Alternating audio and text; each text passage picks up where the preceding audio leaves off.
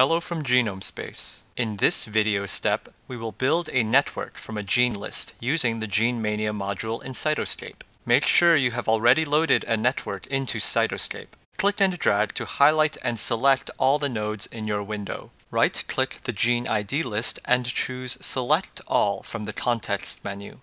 Right-click the ID list again and select Copy.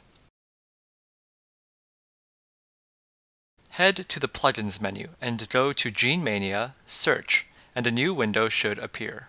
Ensure that the organism listed matches the one from which you derived your data, in this case M. musculus. Click the Genes of Interest text box and paste your gene list with Ctrl V.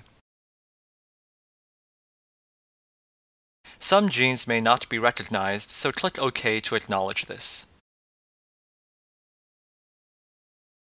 Click Start. If successful, Cytoscape will render a three-dimensional network.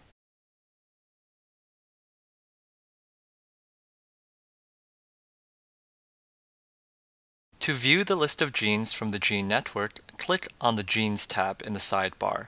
If you click a network node, the corresponding gene in the list will be highlighted and information provided. Click on the Functions tab if you want to see the functions associated with the genes listed. Select a function to view the nodes that are associated with this functional subnetwork.